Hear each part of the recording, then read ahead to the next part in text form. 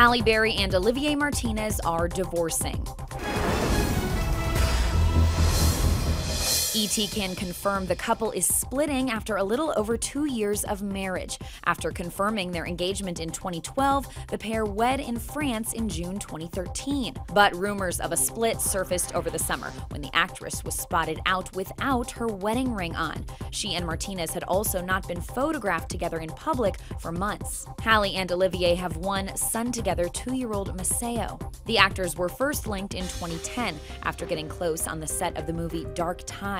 Halle has been in the news for her career lately. ET spoke to her over the summer as she promoted her show Extant with Jeffrey Dean Morgan. When Jeffrey came on, it was a brand new show. He brings so much energy and sex appeal and manliness. There's a lot of um, sexual energy.